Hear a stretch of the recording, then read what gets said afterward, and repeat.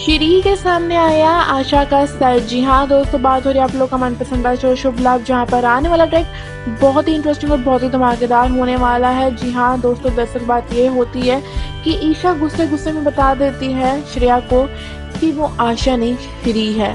यानी कि वैभव और श्रेया की बेटी श्री है, जिसे सुन श्रेया के उड़ जाते हैं होश और वो कहने लगती है कि ये बात फिर से बोलो, क्योंकि उसको उसकी बात विश्वास नहीं हो रहा होता।